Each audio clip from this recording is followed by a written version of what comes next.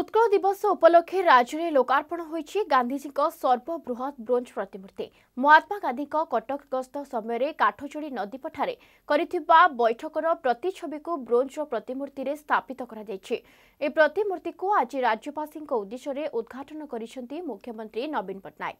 ଏହାସହ କ୍ୟାଣ୍ଟନମେଣ୍ଟ ରୋଡ୍ସ୍ଥିତ ଉତ୍କଳମଣି ଗୋପବନ୍ଧୁ ଦାସଙ୍କ ପ୍ରତିମୂର୍ତ୍ତିକୁ ଉଦ୍ଘାଟନ କରିଛନ୍ତି। ଉଣେଇଶହ ଏକୋଇଶ ମସିହା ମାର୍ଚ୍ଚ ତେଇଶରେ କଟକର କାଠଯୋଡ଼ି ନଦୀପଠାରେ ଆୟୋଜନ ହୋଇଥିବା ସଭାରେ ଯୋଗ ଦେଇଥିଲେ ଗାନ୍ଧିଜୀ। ସେହି ସମୟର ଏକ ଦୃଶ୍ୟପଟକୁ ନେଇ ତିଆରି ହୋଇଥିବା ଏହି ବିରାଟ ପ୍ରତିମୂର୍ତ୍ତି ନିଶ୍ଚିତ ରୂପେ କଟକକୁ ଆସୁଥିବା ପର୍ଯ୍ୟଟକଙ୍କୁ ଆକୃଷ୍ଟ କରିବ। ୱେଲଭ୍ୟୁଠାରେ ନିର୍ମିତ ଗାନ୍ଧିଜୀଙ୍କ ପ୍ରତିମୂର୍ତ୍ତିର ଓସାର ରହିଛି ପଚିଶ ଫୁଟ ଓ ଉଚ୍ଚତା ବାର ଫୁଟ।